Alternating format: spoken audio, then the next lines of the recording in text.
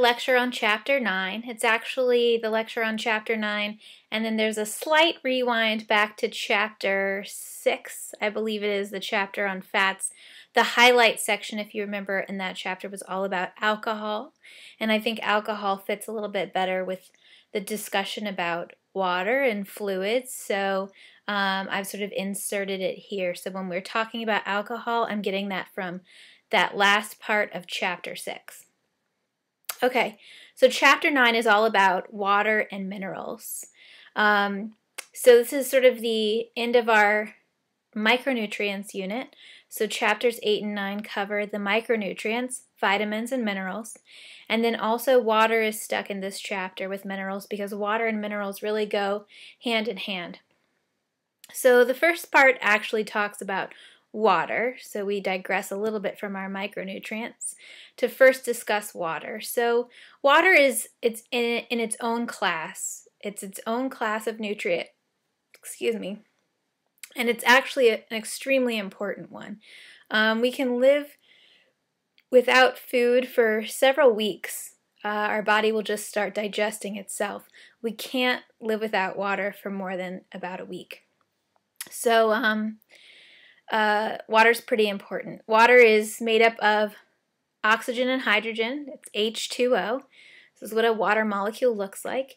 And it's a major component of our body. 50 to 75% of an adult's body weight is water, um, depending on their body makeup, their age, different things. So, some things that can affect fluid composition of a body. Um, one, tissue type. So, lean tissues like muscle have higher fluid content than fat tissue. And it makes sense if you think about it because lipids and water don't mix, so you can't have much water in lipid tissue, fat tissue, adipose tissue. So, my little picture here as taken from one of those, you know, like weight loss ads where you've got like the you know, obese guy, and then like he takes some supplement or does P90X, and he turns out, you know, really cut. Um, so, anyways, supposing that these two men weighed the same amount, um, this one has more fat tissue, this one has more muscle tissue. So, this guy on the right will actually have more water, more body water, because he has more lean tissue than fat tissue. Um, gender also makes a difference in uh, body water composition. Again, females have more fat tissue than males do. So, males have more water than females do. And finally, age can make a difference. As well, when we're infants, we actually have a very high content of body water, uh, like on the higher end, like 70, 75%. And as you age, um, particularly as you become an older adult or an elderly adult, you start losing muscle mass and you start losing water. So, um, in this picture, grandma has far less water than the little baby um, in terms of percent. Okay, so uh, water has a lot of functions in our body. In previous lectures, I've spent several slides going over the functions of, of a given nutrient. Um, but in this one, I've just decided to stick with the book's format and just feature a table and sort of go through it um, individually. So Water is an excellent solvent. That means that it can dissolve things very well. Um, dissolve things like nutrients, glucose, whether it be glucose or amino acids, um, or minerals and vitamins. It can also dissolve our waste products, all the waste products from cells. So, um, because of its amazing solvent abilities, it is a really good um, transporter of substances, including wastes, which it helps remove from our system, and um, transporting substances that we need, like uh, glucose, to different cells. Okay, and it does that through all these different bodily fluids, blood being the major one that transports things. Water is also a component of saliva. In fact, uh, when you get thirsty, when you're dehydrated and you're low, your body's water content is low. One of the first signs of thirst is what? Dry mouth, right? Because your body stops producing saliva if it doesn't have enough water to do more important things. So, um, saliva comes from body water. Sweat is really important for regulating body temperature. It's a really important function of body water. Um, your body can really only stand to be the temperature of your body can only stand to be raised a couple of degrees before it start starts actually denaturing enzymes and denaturing proteins in your body, unfolding them, and causing you to um, not function properly and ultimately can lead to coma and death. Um, tears have fluid, mucus in your nasal cavity and your intestinal cavity, um, and joint fluid. So which keeps your joints lubricated, keeps bones from chafing against each other, um, keeps them happy. So, so, water also participates in a lot of chemical reactions. A lot of reactions can't take place without water. And it also helps to maintain proper pH balance. So, water has a lot of important functions. Um, transporting substances we need is very key. Regulating body temperature, we would die without that ability. So, um, water is a pretty important nutrient. So, water has this very special ability to go wherever it wants, essentially. So, all of the cells in our body are covered with a cell membrane, a plasma membrane, and that membrane is something we call selectively permeable. It means that certain things are allowed in and out, and other things are sort of, you know, stopped at the door. So, water happens to be one of those molecules that has free passage through these selectively permeable membranes. And that passage of water from an area um, of low concentration to an area of high concentration is called osmosis. So, here we go. We have sort of a, a beaker that's representing um, there's a membrane here, a fake membrane that represents the cell membrane. It's selectively permeable. And on one side of this membrane, you have pure water. And on the other side, you have water plus a solute. A solute is anything that's dissolved in water. So it could be glucose, it could be sodium, whatever. Let's say it's glucose. So water is attracted to solute. It's attracted to dissolved particles, whether it be glucose, albumin, sodium, potassium, whatever. Um, so the sodium or glucose molecules are too big. They can't pass through this selectively permeable membrane. They're not selected to freely pass through. So they have to stay on this side. But water can pass through, and it will. It's attracted to solute molecules, and so it will move over to the other side to try to balance out and dilute that solution. Okay, and this happens in our bodies all the time. This is what electrolyte balance and fluid balance is all about, and we'll get to that in a couple of slides. So, body water is all I mean, your body your your body is 50 to 75% water. Where is all that water kept, all right? A majority of that water, surprisingly enough, is actually found inside your cells. So, two thirds of the body's water is intracellular, meaning it's within the cells. Um, most people think, when they think body water, they think of fluids like blood and lymph and tears, which are all part of the extracellular fluids, which is only a third of our body water. So, most of the water in the body is contained in cells, which makes sense if you think about a cell and how it has that cytoplasm, that gel like substance that fills it up. That's going to be a high content of water. And most of your body is made up of cells, it's made up of tissues that are made up of cells. And only a very small amount of your body is actually fluid, like blood. So, most body water, two thirds of the water in your body, is stored inside cells, intracellular. The other third is extracellular, and there's two sort of places, two components of extracellular fluid. There's interstitial fluid, which is the fluid that sort of uh, bathes cells in a tissue. So there's fluid between cells. They're not all like, cells aren't all like glued together, and uh, they sort of sit in a bath.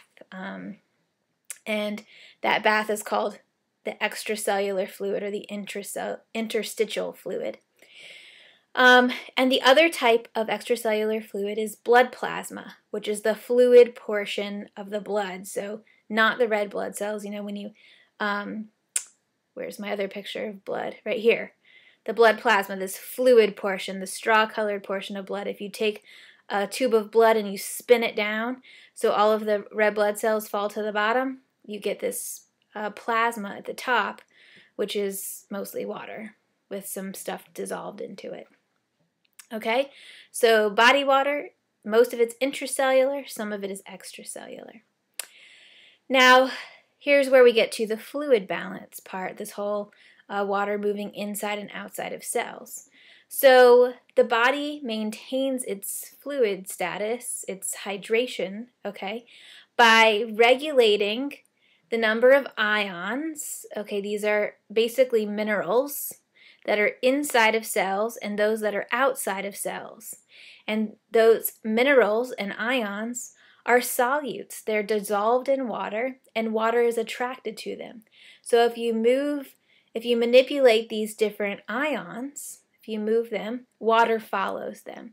And that's how we achieve water balance. So um, these minerals will all come back to haunt you in a few minutes when we talk about body minerals. So might as well go ahead and point it out here that um, the different minerals that play a big role in fluid balance are sodium, chloride, potassium, and also phosphorus is another one. This A minus just means any other negatively charged um, molecule. So anyway, you have intracellular ions and you have extracellular ions. And we'll talk about how sodium helps to regulate blood fluids, or helps to regulate extracellular fluid, and potassium helps to regulate intracellular fluid because potassium is higher inside the cell than it is outside the cell. See, it's very small in the extracellular fluid, whereas sodium is very high outside the cell and very low inside the cell. But they're both positively charged, so you have sort of equal charges on both sides, but you have differences in the um, in the types of ions. So this will become more clear in a minute. Oh, here it is. I already have it.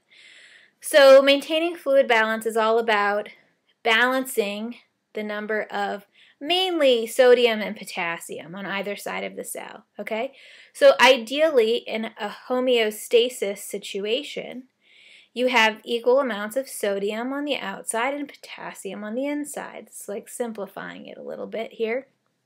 Um, but if you have a situation where your sodium is reduced, uh, like if you don't get enough sodium in your diet, or if you drink too much water and you dilute the amount of sodium in your blood, okay, um, what happens is you get less sodium on the outside and more potassium on the inside. And what does water do with osmosis? It follows solute. It moves from an area of low concentration to an area of high concentration. Well, there's more particles, solute particles, inside the cell than there are outside the cell, so water is going to move into the cell. And normally, you know, water moving into a cell is a good thing, but if you have too much water moving in, the cell can swell, it can even rupture. So it can actually be bad, very bad, for too much water to move into a cell. Um, the opposite situation is if you have excess sodium in the environment, in the extracellular fluid, and not enough potassium. So this could either be due to a potassium deficiency, which is actually fairly rare, or more likely due to over-consuming sodium you get more solute on the outside of cells, and what happens is water moves out of the cell into the extracellular fluid, usually into the blood. So, um, this is why you're not supposed to drink seawater if you're stranded at sea. If you ever get stranded at sea, remember don't drink the seawater because there's so much sodium in seawater. Essentially, this is what happens. You actually become very dehydrated um, excess sodium consumption can cause dehydration because it causes fluid to leak out of your tissues and into the extracellular fluid into the blood, where then it can get water can get lost and excreted through urine, and you become dehydrated. So don't drink the seawater unless you're somehow distilling it first. You will dehydrate faster than if you didn't drink at all. Okay, so water, our water intakes and our water outputs have to be equal in order to achieve water balance. And there's a few different ways that we gain water and a few different ways that we lose water.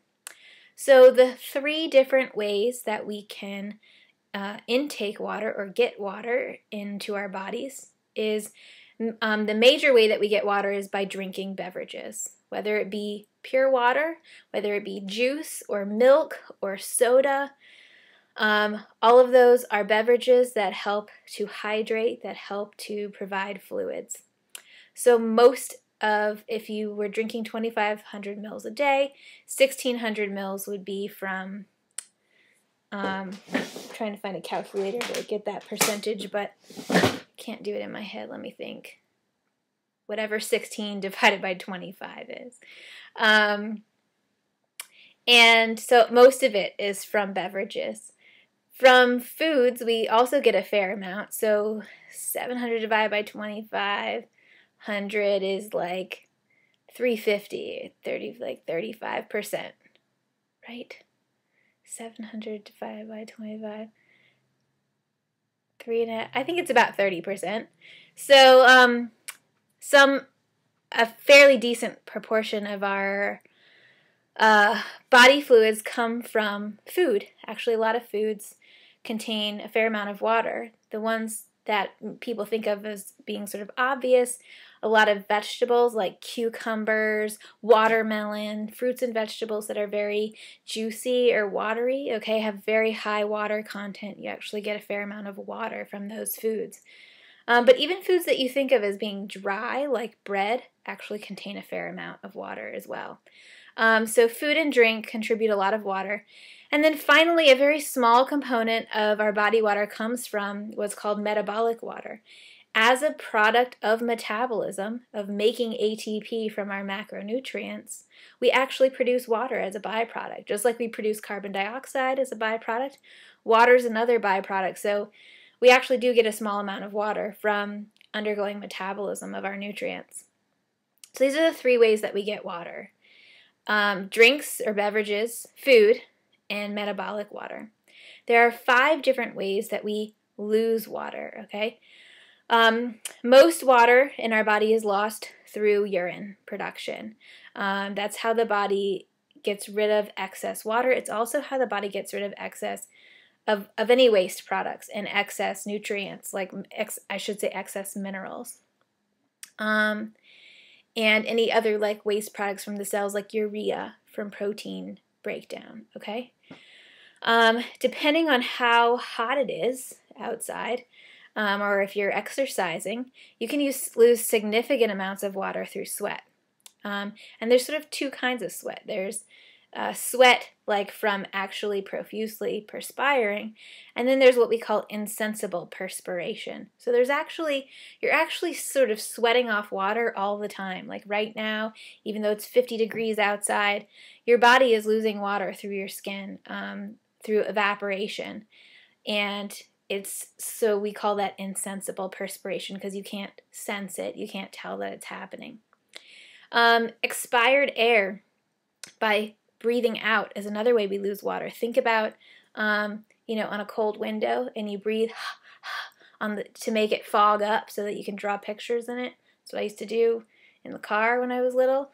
So um, the reason that it fogs up is because the vapor from your breath is condensing on the cold window. So there's actually vapor, water vapor in your breath. Your lungs are wet.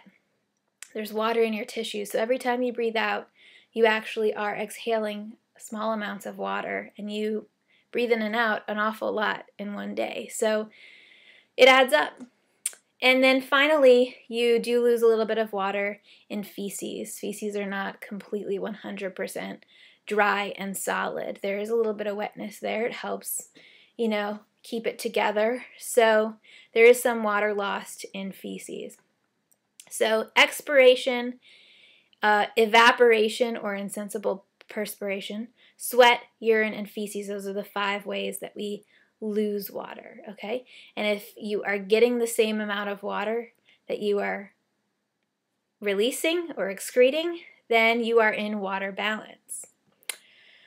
Um, so the kidneys are the major organ or major player in terms of water and mineral regulation. Okay, so kidneys really regulate our hydration status. They filter out the wastes, so like urea and from protein breakdown and all the minerals, extra minerals that we have floating around. Um, and water then sort of follows because those are all solutes. The waste products and the minerals are, are solutes. So water then also follows them into the waste bucket of the bladder. And, um, and they're all excreted. So that's what urine is. It's excreting mineral waste. And sometimes if you are, uh, particularly if you're dehydrated, if you're not drinking enough water, or you're getting excess amounts of certain minerals, um, the minerals or waste products in your kidney can actually precipitate out, fall out, and form crystals that are called kidney stones. And I don't know if anyone out there has ever had a kidney stone. Luckily, I have never experienced it, but I've heard it's one of the most painful things in the whole world. It's far more painful than childbirth, according to every woman who's ever had a child and had a kidney stone. Um, and essentially, you get these little rocks that form in the kidneys and then have to move down the ureter, which is like a teeny tiny little tube. And they're sharp. I mean, they're crystals. They're little, you know, they're craggy. And so they move down and basically scratch their way down the ureter until they come out of the bladder. And they do the same thing through the urethra, that long, uh, the tube that leads from the bladder out of the body. So, not a pleasant experience. Um, to prevent kidney stones, if you are prone to them or if you've had them before, um, one key thing is to stay well hydrated. If you keep enough water in your system, hopefully it keeps all those minerals uh, in solution so they don't precipitate out. So, drinking plenty of water is very important for preventing kidney stones. Also, avoiding excess mineral consumption, particularly sodium and calcium. Calcium is the major component of most kid- kidney stones. Um, most kidney stones are composed of calcium oxalate, a salt called calcium oxalate. So, trying to not to overdo it on calcium, particularly calcium supplements. But also, excess sodium can lead to precipitation of um, this calcium oxalate. So, those two minerals in particular, try to cut back on. So, when you get dehydrated, and remember some of the signs of dehydration are you actually get a dry mouth because your saliva sort of dries up because your body doesn't have enough water to produce saliva. Okay, that helps to stimulate you to go drink. Um, but some of the hormone regulators of, of hydration um, are antidiuretic hormone, ADH, and aldosterone.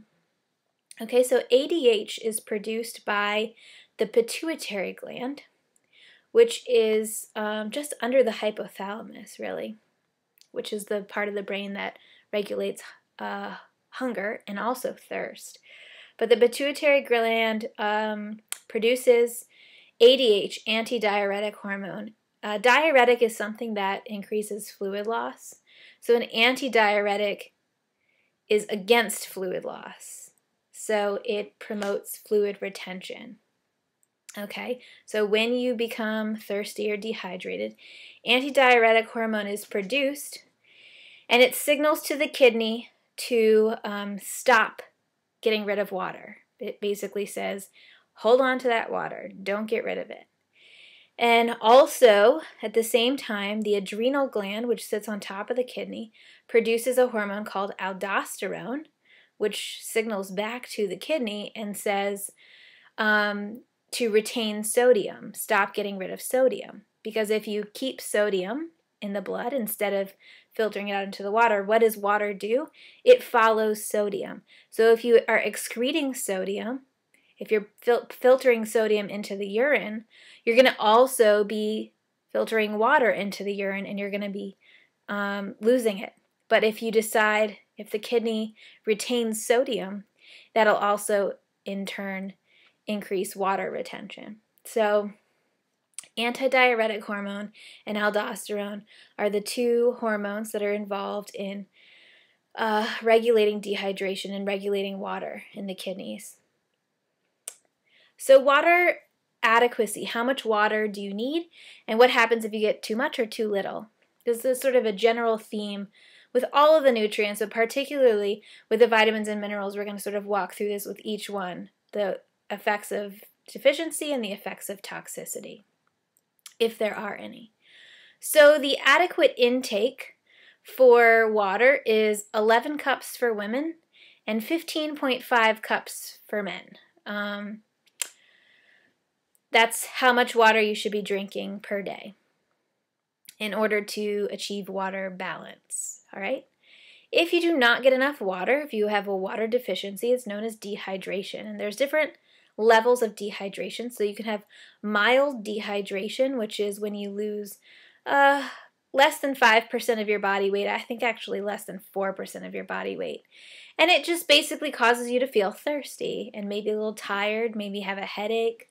Um, but severe dehydration, like if you are doing an Ironman triathlon and you swim two miles and then bike 112 miles or then run a marathon, okay? That's a, a long endurance event and you're going to be sweating a whole lot, okay? So, um, people who do those long endurance activities, marathons, triathlons, often lose a lot of body water and have to be really good about staying hydrated during um, the event, or they can lose more than 10% of their body weight and it can cause actually can can be fatal and there's a story at the beginning of your chapter about a wrestler who was trying to lose weight quickly and basically was trying to sweat it out and uh, and died from it. So actually a handful of wrestlers, college wrestlers, who died in one year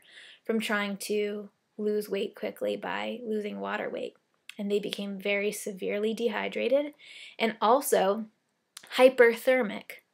They essentially died from heat stroke and dehydration when your body runs out of water, when it becomes very dehydrated, it can't cool, you can't sweat anymore. You lose the ability to sweat, and then your body can't cool off efficiently. So um, it gets too hot. Hyperthermia uh, is the opposite of hypothermia, it's overheated.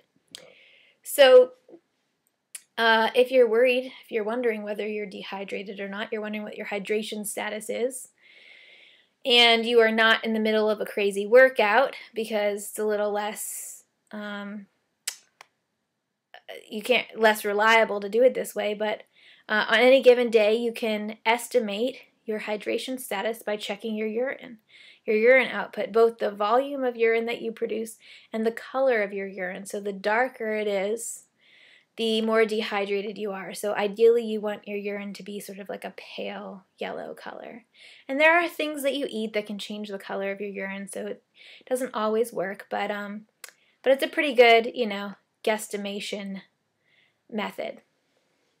Uh, water toxicity. Many of you may not be aware that you can, in fact, drink too much water.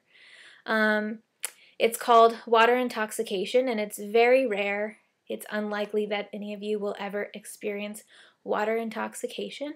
Um, it really only happens in two sort of instances.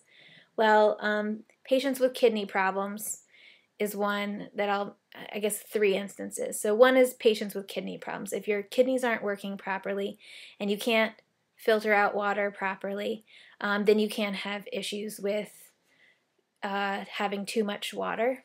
Um, also, you can have lots of issues that we'll talk about with having too much, to having mineral toxicities as well. But um, really, there's two scenarios where people are at risk of water intoxication. One is endurance athletes, people who are um, sweating a lot and and in sweat, it's not only water that's lost, but salt as well. If you ever taste sweat, it's salty. If you've ever done like a really long race at the end, um, you're usually caked. You'll see people they're like caked in like this white powder that's actually salt, dried salt on their skin because they're they sweat and the water evaporates and the salt is left behind. Okay, so when you sweat, you lose water, but you also lose salt. So if you're doing an endurance activity, you sweat and you lose water and salt, but you only replace water. Then you throw off your electrolyte balance. Okay, let's go back a couple of slides here what happens if you um, are sweating uh, off all your sodium. So you're running out of sodium and potassium for that matter, and you're only replacing water. You're going to end up in a situation like this where you have a lot of water and not a lot of electrolytes. And it throws off the balance, and those electrolytes are really important for things like nerve transmission and muscle contraction, particularly in the heart. So um, it can be fatal. Water intoxication can be fatal.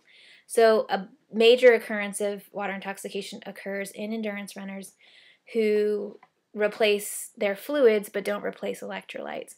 And this used to be a bigger problem when it started um, becoming a problem in marathons and such where they just provided water at water stops. They now provide at any endurance activity, they provide um, like Gatorade or Powerade or some electrolyte replacing fluids in addition to water in order to help prevent uh, water intoxication for athletes. Another scenario where there's been water intoxication are sort of these uh, sort of rare freak occasions where people do drink insane amounts of water in a short amount of time. So, one scenario was there was a famous case, and I forget what state it was in. Um, this radio station had a contest. It was Hold Your Wee for a Wii, like Hold Your Pee for a Wii gaming system. And so it was a radio contest, and the contestants had to drink a bunch of water and not go to the bathroom, essentially. And whoever could drink the most water in an hour or something without peeing would win a Wii gaming system. And uh, a woman actually died from the contest. She was actually the second place. She was the runner up. She was trying to win a Wii for her kids. And she drank a bunch of water, didn't win, got home, and passed out on the floor. Um, and nobody, and I guess no one was home to call the hospital. And she fell into a coma and she died. Um, so it was very sad. The radio station got sued and everyone got fired because, in fact, contestants, people were calling in, nurses, people who um, knew about water intoxication were calling in during this contest and saying, "You cannot do this. This is very unsafe. You need to, you know, put an end to this." And they did not because they thought it's just water. You can't drink too much water. Okay, and so that same sentiment has was felt by um, some fraternity brothers at a college, there actually I think there was a couple of instances of this. I can't name the college. Sorry, I'm bad with my specifics in, in my stories here. Um, but in college fraternities, hazing is a big thing. And a lot of college fraternities get in trouble for hazing using alcohol in under underage drinkers and also alcohol can consumption can lead to alcohol poisoning which has also led to several deaths in college fraternity issues. So this one college fraternity thought well we can't use alcohol that's bad we'll get in trouble. We can use water we can make all the recruits drink a ton of water. In a similar scenario so it was sort of like a you know drink as much water as you can without peeing contest as a hazing ritual, and uh, one of the recruits died from water intoxication. So if you are just drinking your water, you're 11, trying to go for your 11 cups a day, you carry your water bottle around with you every day, and you hydrate as well as you can, you are not going to be in risk of water intoxication. This is like for very extreme scenarios where you're drinking an excessive amount of water in a short amount of time and you're not taking in any salts or any electrolytes. So had those people that and those, you know, that fraternity brother or that woman in the radio contest, had they eaten something salty, it probably wouldn't have been an issue. Um, as long as the water and salt balances out, but they just kept drinking water, so it diluted the salt in their blood and it caused this water intoxication. Okay, so I have a little NutriCase for us to practice with. This is Gustavo. And he says, Something is going on with me this week. Every day at work, I've been feeling weak, like I'm going to be sick to my stomach. It's been really hot, over a 100 degrees out in the fields, but I'm used to that. And besides, I've been drinking lots of water. It's probably just my high blood pressure acting up. So, what do you think might be wrong with Gustavo? Hopefully you said that it has to do with water, that he might be he might be dehydrated. Some of you thought think maybe he's overhydrated. Either one could cause those symptoms of weakness. He says he's drinking lots of water, so maybe he's overhydrating, but it also says that he's um it's really hot out and maybe he's, you know, maybe he's not drinking as much water as he needs to be as he thinks he should he is. Um, if you learned that he was following a low sodium diet, in order to manage his high blood pressure, would this information argue for or against your theory and why? So, if he was following a low sodium diet, do you think that he is more likely to be experiencing dehydration or overhydration? Hopefully, you said overhydration. If he's not getting enough sodium and he's drinking lots of water, then he's probably more at risk for overhydrating. So, what do you think he should do differently at work tomorrow in order to feel better and to stay hydrated? A great answer would be for him to drink something with electrolytes in it, like Gatorade instead of water. Um, or to have something uh, well, to have something salty with his water, but if he's trying to follow a low sodium diet, that might not be the best scenario. Whereas Gatorade and um, fluids with electrolytes tend to have a little bit of sodium, but also potassium and other electrolytes. Um, that so they're still fairly low sodium. So uh, those would be good answers. Okay, and also to try to stay out of the heat and cool off a little bit would be good too. So when it comes to um, fluids, there are things called diuretics. And a diuretic is any substance that increases our fluid losses, all right? The book mentions that caffeine is a diuretic, which is incorrect. Caffeine can be a diuretic if you drink like very large amounts of it, like we're talking like equivalents of five or six cups of coffee a day. In that case, Caffeine can be a diuretic. Also, if you're someone who doesn't consume caffeine on a regular basis and you have a cup of coffee, again, caffeine can have a diuretic effect. It can cause you to produce more urine. Um, but for most people, caffeine is not a diuretic, not a diuretic, okay? So if the program's asking you about it, fine, you have to answer with what the book says. But if on the test I ask you about it, the answer is caffeine is not a diuretic except in excessive amounts. Um, one thing that is a diuretic, clearly a diuretic, is alcohol. Alcohol is a diuretic, it actually blocks the effects of ADH, of antidiuretic hormone. So that's why when you drink alcohol, if you drink alcohol, um, you often have to pee a lot uh, because alcohol is a diuretic. It's also most likely why you get hangovers from alcohol as well. A lot of the symptoms of hangovers are symptoms of dehydration. Um, so the headache, the nausea, all of those things can be, uh, well, some people think that they can be completely chalked up to dehydration. But surely, um, but definitely a lot of people would tell you if you drink water, make sure you stay hydrated while you're drinking alcohol. You will have far better consequences the next day, less dehydration. And then finally, a lot of um, water, a lot sorry, a lot of weight loss drugs like over the counter weight loss medications are actually just diuretics. They cause you to pee a lot more, so you lose water weight. You lose a couple of pounds of water weight. Um, and they're not particularly safe because they can lead to dehydration. So, um, you know, if you buy some kind of, if you take some kind of over the counter uh, diet pill, make sure you read the ingredients, read how it works. Um, some of them say clearly that they are meant to eliminate water weight, but some of them don't say it quite so clearly on the box. And if the ingredients say that they are diuretics, then you know that you're just losing water weight and not actually any body fat or tissue.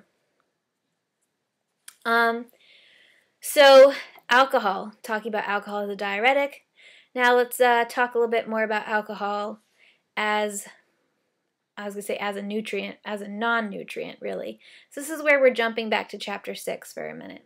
So, um, alcohol is ethanol, essentially, and it is contained in beverages that are made from fermented grains or fermented fruits, so beer, wine, spirits.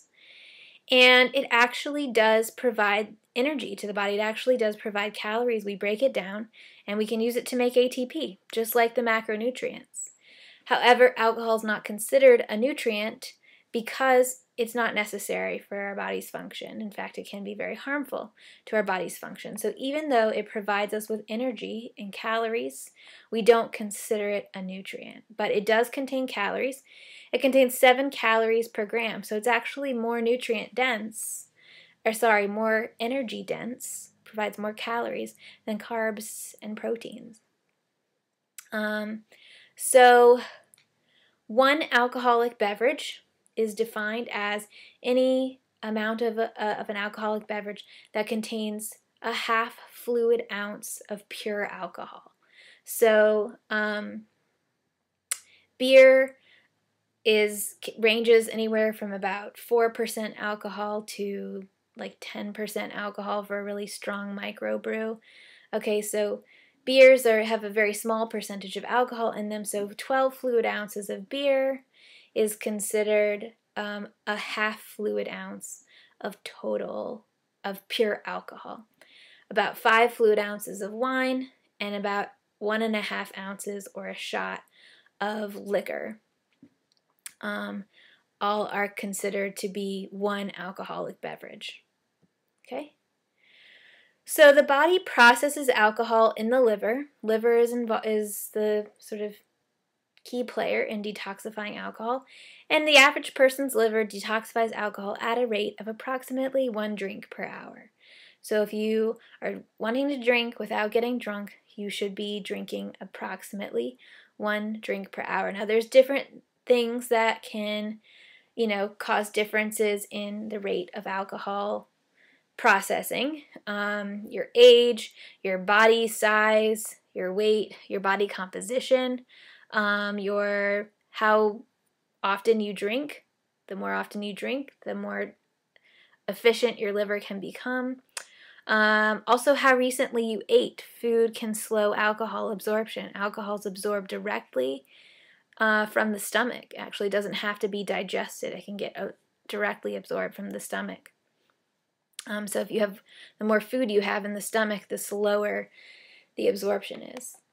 So Alcohol, ethanol, gets detoxified in a two step process. The first, there's two enzymes in the process alcohol dehydrogenase and acetaldehyde dehydrogenase. So, alcohol dehydrogenase turns ethanol into acetaldehyde, which is a very toxic substance and can do a lot of liver damage and is actually what causes liver damage in chronic alcohol abusers.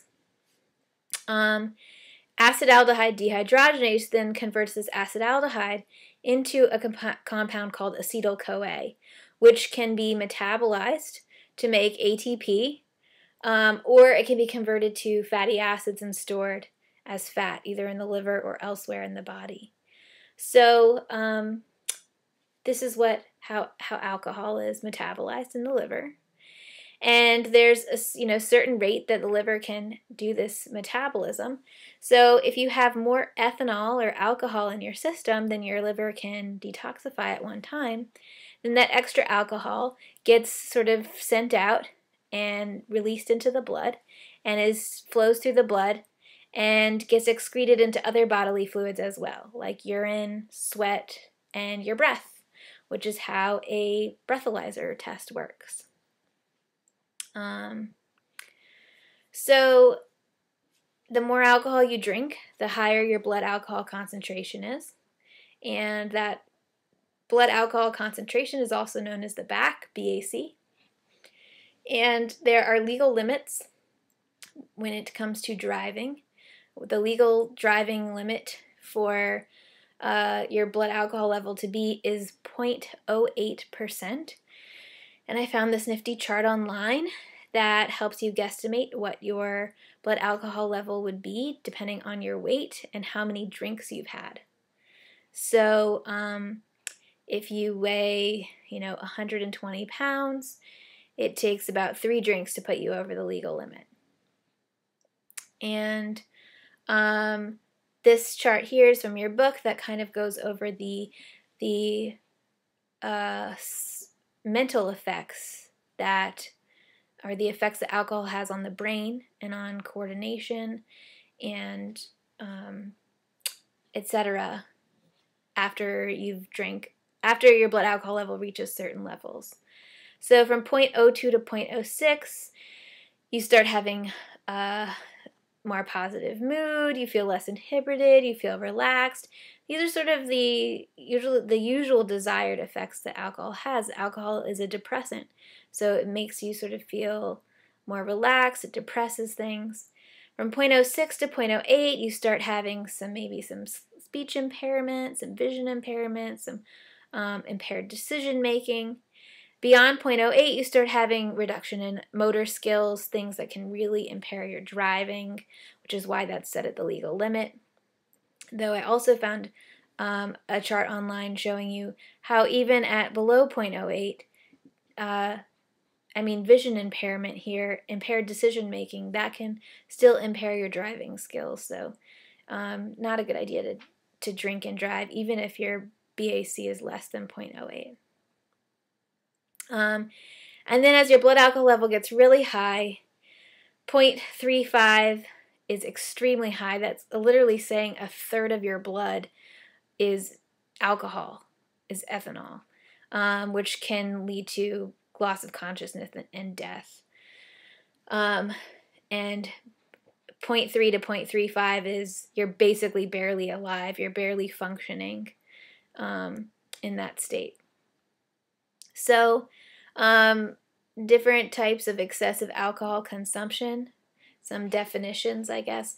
Binge drinking is consuming five or more drinks on one occasion. It's the definition of binge drinking. I think for females it's actually four or more drinks, and males it's five or more drinks, is the definition of binge drinking. So drinking to get drunk. Um, except like binge drinking a lot can lead to um, can lead to alcohol poisoning okay, which is consumption that overwhelms the liver's ability to detoxify and can lead to coma or death. And alcohol dependence in alcohol abuse are people who drink, chronically drink, chronically abuse alcohol, and uh, feel this uncontrollable need to drink. They can develop a tolerance to alcohol, meaning that their body learns to metabolize it better, though I did have one student who corrected me one semester who took a, a class, I don't remember what class it was, but um, that it's not actually the body, the body doesn't actually metabolize it faster, but the brain becomes less sensitive to it. So that all of these sort of mental effects, it takes more alcohol to have to feel those that positive mood or that relaxation. Um, and chronic alcohol ab- abuse can cause serious damage to the liver. So, this is a normal liver on the left here, a fatty liver, and a liver with cirrhosis, a ton of cirrhosis. Okay, so the fatty liver is sort of the first stage because remember, excess acetyl CoA. Okay, this can be metabolized and stored as fat. It can be stored as fat right there in the liver. So, if you're doing a lot of alcohol breakdown, you can end up with a fatty liver. And if you're really stressing your liver out by causing it to just be on constant alcohol breakdown, the liver gets sick and overworked and starts forming all this scar tissue, which is what cirrhosis is. Okay, so there's uh, alcohol isn't all bad. It's not like um, a toxin. It's something that, like anything and everything in the diet, should be consumed in moderation. And there's actually um, some suspected health benefits to engaging in or partaking in light to moderate alcohol consumption. So that would be one drink a day for women, two drinks a day for men, is considered moderate alcohol consumption. Um, so, drinking moderate alcohol, alcohol um, can lead to improved lipid profile, so higher HDL, lower LDL cholesterol. It can reduce the risk of blood clots. Alcohol is actually a blood thinner, so it can um, reduce the risk of blood clots, and blood clots can cause heart attack and stroke. Remember, we talked about that with cardiovascular disease, the effect, what blood clots can do if they get lodged in the wrong place. It can also stimulate appetite. Um, it's particularly helpful in the elderly or sick um, people who are not who do not have much appetite and therefore are not getting proper nutrition because of improper appetite. Um, it can it, po- it can also possibly lower the risk of uh, forms of dementia, um, particularly red wine. Some of the components of red wine have been shown to do that. The antioxidants in them. So probably not the alcohol itself. But anyway, there are some positive benefits. Also, there's psychological benefits. Um, alcohol helps improve mood and induce relaxation, and these are things that can help lower stress. And stress can cause a lot of bad things to happen. um, it can increase your risk for cancer, type 2 diabetes, cardiovascular disease, to name a few. So, there's also a lot of downsides to alcohol consumption, but mostly to moderate to heavy alcohol consumption. So if you drink too much alcohol, there are a lot of health benefits. I mean, if you're a chronic alcohol abuser, we know about that liver cirrhosis. Um, but even moderate to heavy consumption, that's not quite, maybe not quite alcohol abuse, but um, it can increase your risk for cancer, it can increase your risk for hypertension. So, a little bit of alcohol can reduce um, blood clots, and a lot of alcohol can actually increase your risk for hypertension. It increases your total calorie intake, so it can increase weight gain. And it reduces absorption of some of the B vitamins. We talked about that, the B vitamins that um, are alcohol, alcoholics are at risk for being deficient in. And also, alcohol can interact with medications that you take whether they be over the counter or prescription. So it's always good if you're taking medications to make sure that you double check and see if it's safe to drink alcohol with them. And last but not least, in terms of alcohol, is uh, the danger of drinking alcohol when you are pregnant. So, pregnant women who drink alcohol are risking having babies who have a fetal alcohol spectrum disorder. Okay, so it's a spectrum of disorders that are basically different birth defects um, if mothers abuse alcohol during pregnancy. So it can lead to these children have they suffer from a, a variety of different issues emotional social developmental uh, deficiencies and really severe fetal alcohol spectrum disorder is called fetal alcohol syndrome and there's a number of sort of different facial features that are indicative of fetal alcohol syndrome. Um, some of them are having a very flat, thin upper lip and having no midline groove. That's that little like place above your lip where you can like stick your finger. There's like a groove there. Um, they don't really have one of those. Their uh, knees, the bridge of their nose is very flat and wide. Um, these are just some characteristic face, facial features. They also have a number of emotional, behavioral, social, learning, and developmental problems. Um, very sad, actually. So, that is all I'm going to say about fluids, both water and alcohol. Now, this brings us back to the minerals, our other micronutrient, aside from vitamins, vitamins and minerals Minerals are very different from vitamins in terms of their structure, but they're very similar in some ways to some of their functions. And we'll get to that. And they oftentimes work work together in similar processes. So minerals are essentially minerals come from the earth. They come from the soil that our food is grown in. That's where minerals come from. When you think minerals, you think inorganic rocks and soil, okay? Um, that's the same minerals that we're talking about in our body. They come from the periodic table of elements. Minerals are elements. They're inorganic, meaning they don't contain carbon. They are literally elements off the periodic table. Elements cannot be broken down. We don't digest minerals, okay? We just absorb them and excrete them and, and use them, incorporate them into different um, molecules, but we don't digest minerals because they are the simplest type of, of, of chemical there is. They're elements. And most of the minerals in our body um, can carry an electrical charge. They form ions.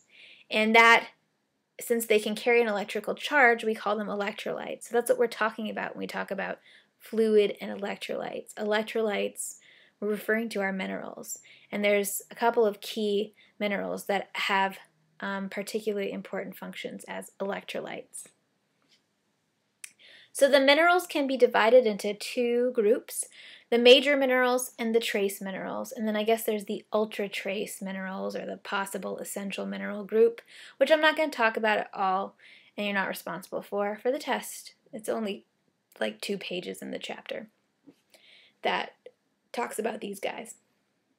So remember with vitamins, we had the fat soluble vitamins and the water soluble vitamins. Okay, that was like the two groups of vitamins. So the two groups of minerals are the major minerals and the trace minerals. So the difference here is for the vitamins, I do expect you to memorize and know which vitamins are fat soluble and which are water soluble.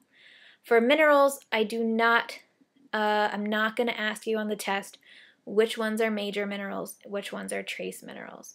Though I have a feeling the flashcards on the Connect program probably ask you that. Um, but I'm not going to ask you to memorize which are major and which are trace. But we will talk about all of these different minerals. Um, I scratch that. We're not going to talk about all of them because your book, unfortunately, but conveniently for you, leaves out several of them, of discussion of several of them, which kind of pisses me off about your book. Ah, but alas, I chose it. I made my bed, so now I have to sleep in it. Chloride is one that the book does not, it completely neglects to talk about. Same with sulfur. Um, and both of those I could give or take, so I don't really mind so much. The one that I'm mad about that it doesn't talk about is fluoride. This is all it says about fluoride. But I do want you to know this, even though it's a tiny little blurb in your book. You might want to highlight it because I might ask you something about it on a test. I haven't written it yet, but um, fluoride is technically not an essential nutrient. If we don't get fluoride, if you don't have fluoride, you essentially become more susceptible to cavities. Fluoride is very helpful in building strong teeth and um, preventing cavities, which is why you get fluoride treatments at the dentist, why you brush your teeth with toothpaste that has fluoride in it, and why most water in the United States is actually, most tap water is um, supplemented with fluoride or treated with fluoride. So most places you go in the U.S., you get a glass of water out of the sink, and there's actually small amounts of fluoride in it. That's to help our teeth be strong and healthy. And in regions like I know in Saranac Lake, the water is not fluoridated. And at this, I think students have told me that their schools actually do fluoride. They they they did fluoride rinses at school, like once a week or once a month. Um, the nurse comes in and they all have to like swish fluoride rinse in their mouths. Um, so you cannot, you can actually if well you, you can overdose on fluoride or you can have fluoride toxicity if you take if you ingest too much fluoride in terms of fluoride pills because that's another thing that people in areas where there's no fluoridated water a lot of times doctors will prescribe fluoride supplements for children to help protect their teeth And if they take too much, um, ingest too much of it orally, then it can cause fluorosis, which is like a discoloration of the teeth. Um, that's totally reversible. But if you um, just swish it around in your mouth, if you use a fluoride rinse, that's safe to use every day. You don't get fluorosis from that. It's just if you ingest it that it causes that. So uh, that's interesting for you. Fluoride, important for teeth and bones, important for preventing cavities. Oh, okay. So our minerals have a lot of different functions in our bodies.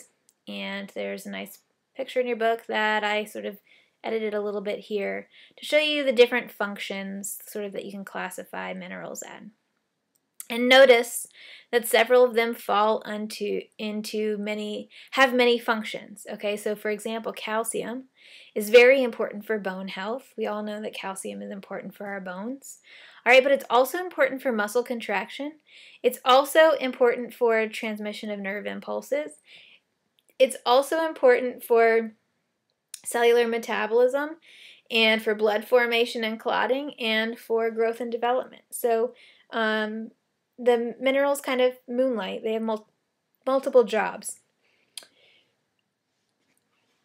Um, so there's a lot of sources of minerals in our diet. Most foods that we eat contain at least some small amounts of minerals. And um, the thing about minerals, along with vitamins, is that there's sort of a limited bioavailability when it comes to when it comes to our micronutrients. Macronutrients, when we eat foods, we pretty much get all of the carbohydrates, all of the fats, all the proteins out of that food that we can with the exception of fiber. We don't digest fiber. But when it comes to vitamins and minerals, we can only absorb a portion of the vitamins and minerals in our food. And that ability of the body, or the limited ability of the body to absorb micronutrients, is called bioavailability. So the bioavailability of a nutrient is referring to how well the body can actually absorb that nutrient um, in our intestines. So um, we'll talk about the different nutrients and some of their bioavailabilities, or the book does. I don't really discuss them in terms of their numbers, but in general, most minerals are not 100% absorbable. You don't absorb 100% of the calcium in milk. You absorb maybe 30% of it. And different um, states of development, for instance, pr- during pregnancy, you actually absorb a lot. It actually increases your bioavailability. Something about the hormones during pregnancy increase the bioavailability of a number of substances, including calcium. But we'll talk about that more in um, the life cycle, sort of nutrition in the life cycle chapter. In general, these are just some general comments about minerals on this slide. So, generally, the more processed a food is, the fewer minerals it's going to have, with the exception of sodium. So, as you process foods, usually you lose the mineral content, and some of them might be added back. So, for example, when you're refining carbohydrates, when you're refining flour, and you strip off all that bran and you strip out the germ, so you get this nice white fluffy flour, and then you enrich it. So, you add back some vitamins. You also can add back minerals, like iron is added back. Um, but a lot of minerals are, are not added back and are missing. So the more processed a food is, the lower its mineral content, as a general rule. Um, some other sources of minerals besides food include tap water or mineral water, which do contain small amounts of various minerals. Already talked about fluoride being a component of tap water, also chloride. Sodium can sometimes be, calcium can be. Um, so in small amounts. And then also dietary supplements can be sources of minerals just like they're sources of vitamins. So they're usually not absorbed as well and depending on the mineral, but they can be a source of minerals.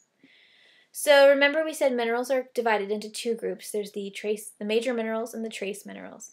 So the major minerals, and I like these tables in your book. These are a really good resource for studying as you're trying to keep all of the minerals and um, straight.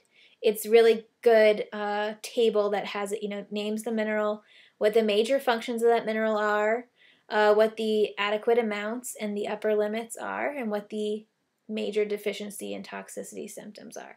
So really good, helpful charts to study from. But these are the major minerals. Again, you don't have to memorize them. Calcium, sodium, potassium, magnesium, phosphorus, chloride, and sulfur. All right, so the first one we'll talk about, the most major mineral in the body is calcium. Calcium is the most abundant mineral in the body because of its role in forming bones. Bones are primarily composed of calcium phosphate. Um, that the hard, the hard part of the bone is all calcium phosphate. So uh, there's a huge amount of calcium in your body, in your bones. And I think it's about 90% of the calcium in your body is found in your bones. So that's, you know, like sort of the key role for calcium. But it's not the only role for calcium. It's, um, it's important in terms of your bones and teeth, but it also assists with blood clotting.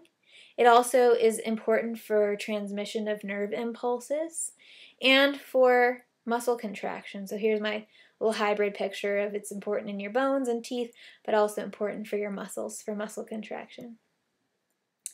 So calcium is regulated by two glands, your thyroid gland and your parathyroid glands. So your thyroid gland is in your neck, it's butterfly shaped, and it's in your neck, and um, it releases a hormone called calcitonin. All right. And calcitonin, if calcium levels are very high, calcitonin is released and it causes um, calcium deposition in the bones. So if blood calcium levels are high, that means let's store some in the bones. And it means we don't need to absorb any more calcium from the intestines, so let's stop uptaking calcium. And it also uh, increases calcium um, excretion from the kidneys. So it decreases reabsorption, meaning it increases excretion. Okay, so the thyroid gland helps to lower blood calcium levels when they're high, but when blood calcium levels are low, you get the parathyroid glands secreting a hormone called parathyroid hormone, PTH, parathyroid hormone. And the parathyroid glands, by the way, are these four little dots. They're four small glands that are on the back side of the thyroid. So if the thyroid here in your neck is butterfly shaped, you take it off, you turn it around, there's the parathyroid glands. Okay, so when calcium levels are too low, parathyroid secretes parathyroid hormone, which increases calcium, uh, sorry, calcium release from the bones. It increases calcium absorption from the intestines and it increases calcium reabsorption in the kidneys. So the kid so it tells the kidneys, don't get rid of it. We need it. Let's keep it here. So all of these these two sort of pathways, kind of like insulin and glucagon, they work antagonistically to help balance and keep a homeostasis of calcium, just like insulin and glucagon, which are both made by the pancreas, work together to maintain glucose homeostasis. Okay, so our bone health is uh, pretty important, and calcium is pretty important in bone health, along with vitamin D, if you remember that one. And um, our bones are actually, what's the word? They're maintained. So um, your bones aren't just they don't just form and then stay that way for your li- whole life your bone tissue gets uh t- you know gets weakened it gets used and gets old and you have these special bone cells in the blood that, or sorry in the bone that um, break down old uh, and weak bone tissue and then these other cells that build up new stronger tissue so your bones are constantly being remodeled. That's the word I was looking for. Um, throughout your life. So these cells, these special cells that are involved in breakdown of old bone tissue are called osteoclasts. And the cells that are involved in forming new bone tissue are called osteoblasts. So here's the osteoblast, and then here, this little moon-shaped thing under here, is the new bone that they have formed, okay? After the osteoclasts ate away at that bone, the osteoblast came and rebuilt it. Okay, so ideally, you want to reach your peak bone density. So your, your peak bone density is reached really before the age of 30. So by the time you're 30, there's really not a whole lot you can do to increase your bone health. I mean, you can stave off osteoporosis by doing some things, but you can't build your bones up any thicker at that point. So when you're young, that is the time to really focus on your bone health and to build your bones to the maximum bone density that you can. Because what happens is, when you're younger, your osteoblasts are much more active and they do a lot more bone building. But as you get older, particularly after the age of 40, your osteoclasts start to take over. Your osteoclasts become more active than your osteoblasts, so you get more bone breakdown than you do bone buildup. So um, there are certain things you can do to try to uh, slow down that bone breakdown. But if you don't, it can result in osteoporosis, which we'll talk about in a second. So calcium is a major way that we can help to take care of our bones because again, they're made up of calcium phosphate. And good sources of calcium are dairy and dark leafy green vegetables. But there's pretty much uh, there's calcium that can be found in various different types of foods from my plate. Okay, so the major sources are dairy, so milk, cheese, yogurt, and green leafy vegetables. So, green leafy vegetables, the calcium in green leafy vegetables is less bioavailable than that in dairy, so you absorb less of the calcium in spinach and broccoli than you do in, in, in milk. And because of other phytochemicals that bind up the calcium and prevent you from being able to absorb it. Um, those phytochemicals are phytic acid and oxalic acid. Okay, they're just other plant chemicals that bind the calcium. And you'll see that's kind of a recurring theme in when we're talking about minerals. That minerals are better absorbed in general from from animal products, animal foods, meat and dairy uh, and eggs than they are from plants, even though plants are a very good source of minerals.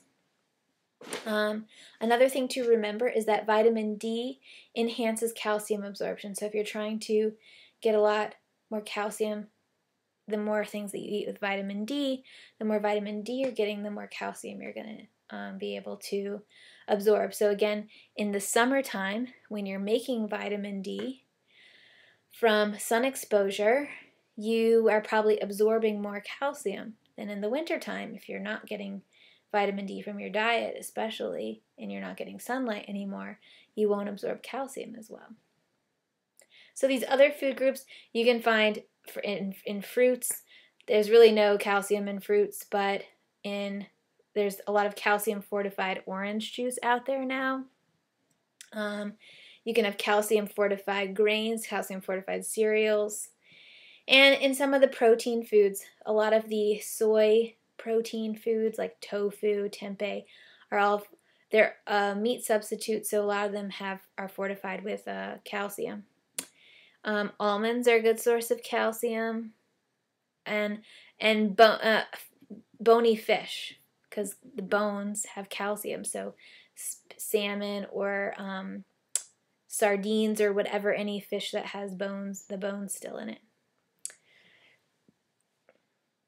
Calcium, when it comes to calcium adequacy, the RDA for calcium, and you don't have to memorize any of these numbers, but it gives context when we're talking about it. So, the recommended dietary allowance for calcium, so the sort of average amount that you should get in your diet, is about a thousand milligrams a day.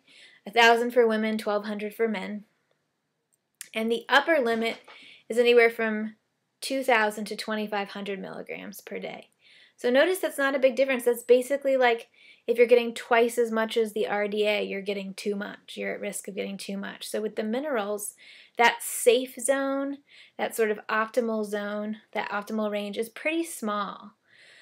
Um, so you don't want to get more than uh, about 2,500 milligrams per day, or you're at risk for toxicity. Well, what are the toxicity effects of too much calcium?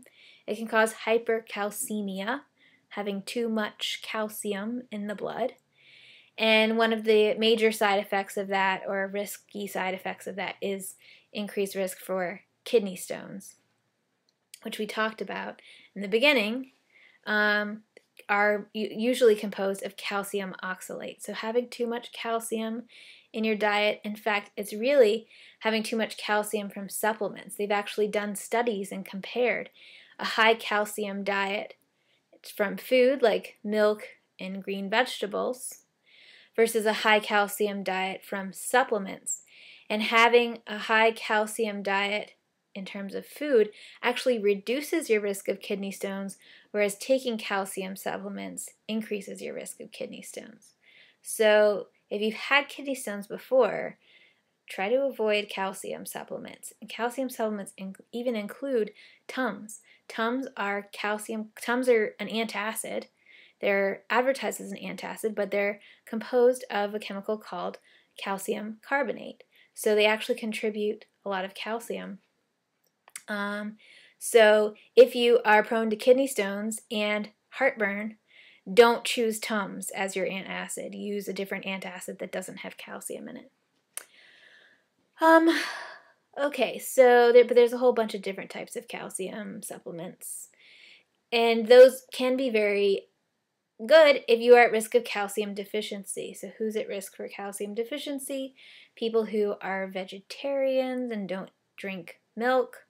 Um, they can still get calcium from vegetables, but they have to make sure they're eating a variety and that they're eating lots of them because remember, calcium is less bioavailable from vegetables. Um, also, so calcium deficiency, the, the risk of that is that it increases your risk for osteoporosis. It can decrease your bone density, so it can increase your risk for osteoporosis. What is osteoporosis? It literally means a condition of porous bones. Porous meaning having lots of holes. So if you look at the spongy tissue of bones, all right, this is a normal bone, and this one is osteoporotic bone, okay? Notice it's more holy. There's more holes. It looks more sort of rotted away. And that's what osteoporosis is. It's sort of a loss of bone mass. And um, it can lead to that loss of bone mass. Essentially, so all these, it looks, the sponginess looks kind of um, like it's not very strong, but if our bones were completely solid, we would be way too heavy to move around. You need to have this sort of these air spaces in order to make bones a little bit lighter. But having all these little branches and things actually acts like scaffolding in the bone, so it strengthens it. And when you lose that scaffolding, the bone becomes weaker and more easily prone to fractures. And um, also, the bone can become compacted so, particularly the bones of the spine. So, a normal person has a spine that's, I mean, it's slightly curved, but you know, kind of straight. And with osteoporosis, the bones get kind of compressed and they cave under, buckle under pressure a little, and you get this sort of hunchback, curved back um, sort of look. So, osteoporosis is not reversible. Um, and there's a lot of things that are risk factors aside from calcium um, intake. So calcium is not the only factor in developing osteoporosis. It's it's potentially one factor. So the risk factors for osteoporosis include age as you get older, you are at increased risk for osteoporosis. Gender, females are more at risk for osteoporosis. It has to do with estrogen and estrogen's effect on calcium deposition.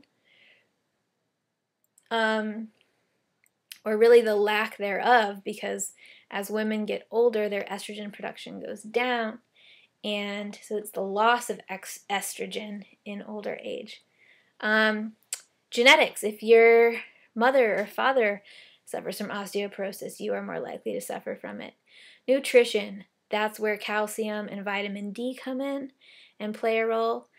Physical activity, low physical activity is really a risk factor.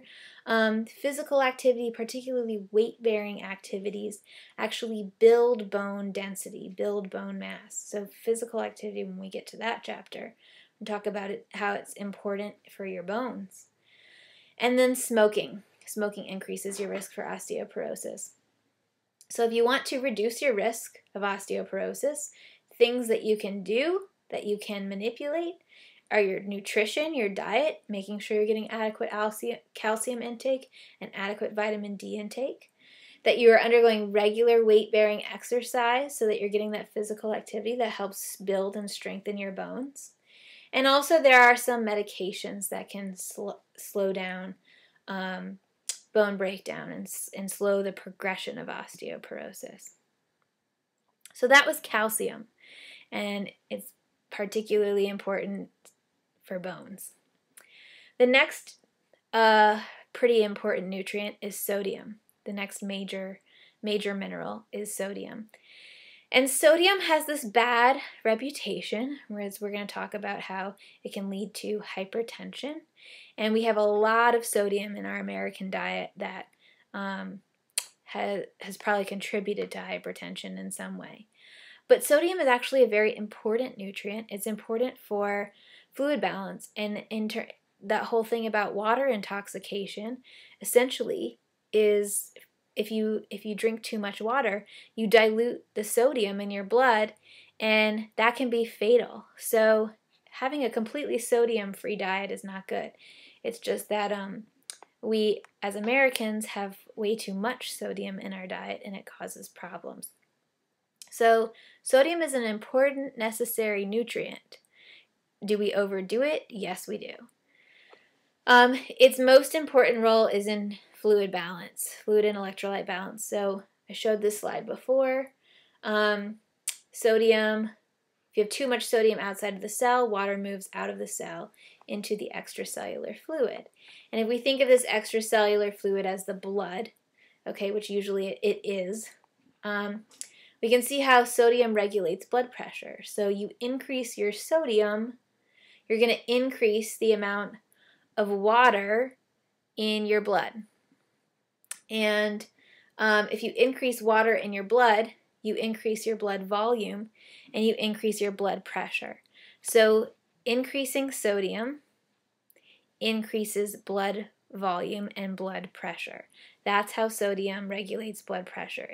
The more sodium, the higher your blood pressure. Sort of. So, the other important roles of sodium are sodium's also very important for nerve impulse transmission and for muscle contraction. And whenever you see these two things together, you should also think heart because your heart is a muscle that depends on nerve transmissions that signal the pacemaker of your heart to beat. Okay?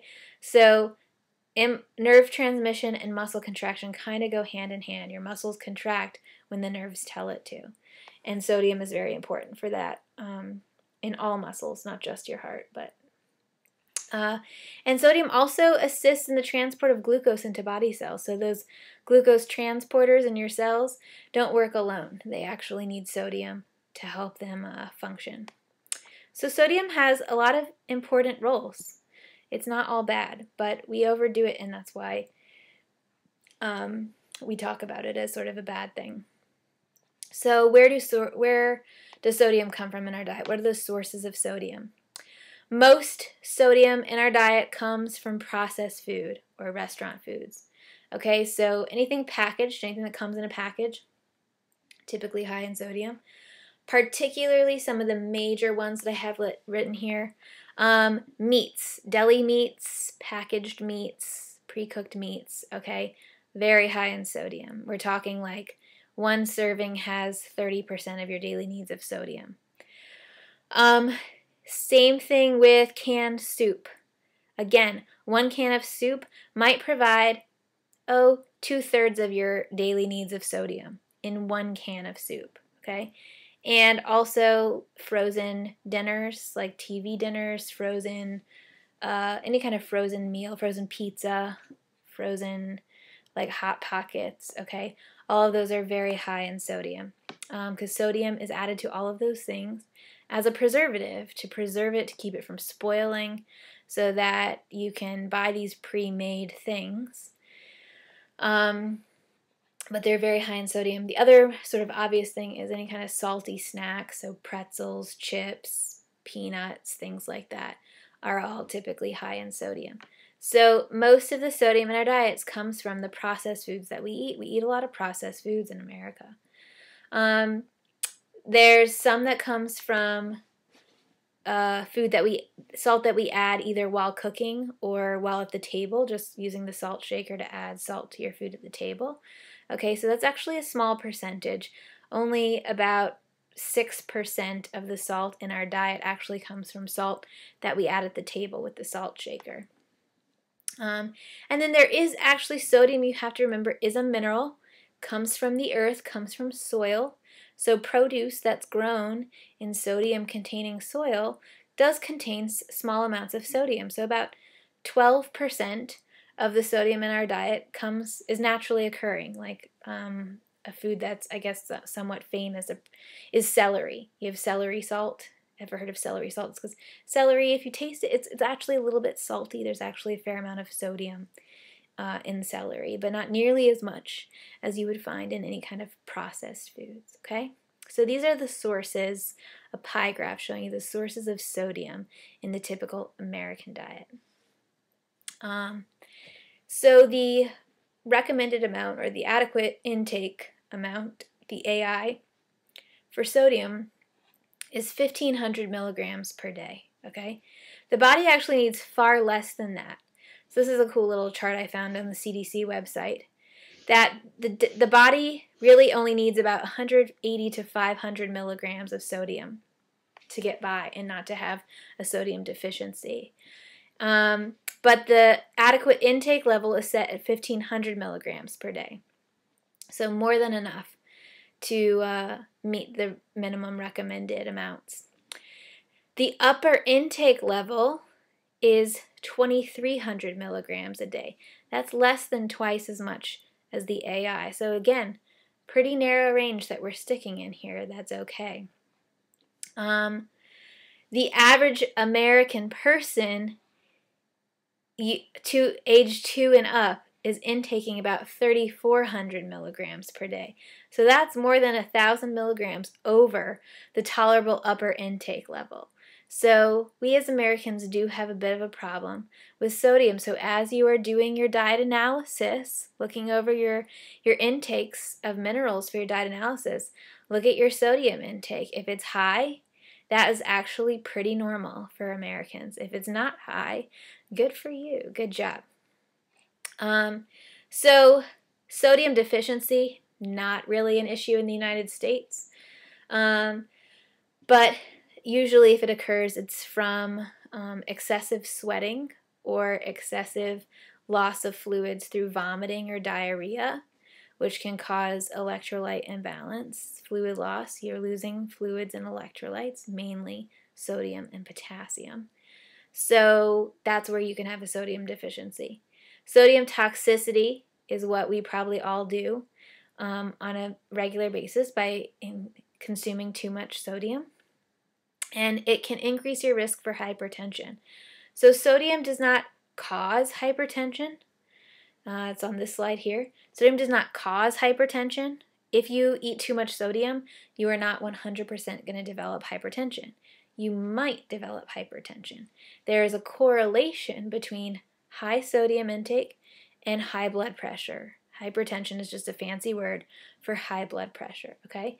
So, also, people who have hypertension, if they reduce their sodium intake, they usually are pretty successful at reducing their blood pressure. So, there's a lot of risk factors for hypertension, not just sodium consumption, but family history, your age, obesity, physical inactivity, smoking, also, um, African Americans suffer from hypertension more than other ethnic populations in the US, so that can increase your risk.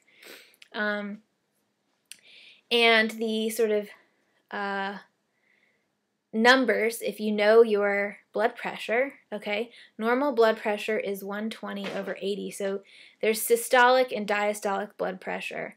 So it's one number over another. So um, it's systolic over diastolic. So normal blood pressure is 120 over 80 or lower than that. And then hypertension is anything that's over 140 systolic or over 90 diastolic. And then there's this middle ground, the pre-hypertension, which is a little higher than normal but not so high that we call it hypertension. So you don't have to know those numbers, but if you were curious for yourself, because I think like most um, drugstores like Walgreens and Rite Aid and stuff have like a free blood pressure cuff that you can go in and take your blood pressure. Uh, so that might be fun for you to do now that you're learning about it and see whether your blood pressure falls into one of these categories if you didn't know already. Um, so there's diets. There's a there's a diet called the DASH diet, which DASH stands for Dietary Approaches to Stop Hypertension, and this is like the new and uh, current um, heart healthy diet to be on to prevent cardiovascular disease, to reduce hypertension, and prevent cardiovascular disease. And it's basically low in sodium to reduce hypertension and low in saturated fat and cholesterol to promote healthy blood lipid levels. And it's high in fruits and vegetables and low fat uh, dairy products. So that is sodium. Sodium is very important for fluid balance, but so is potassium. Potassium is another major mineral that's important for fluid balance.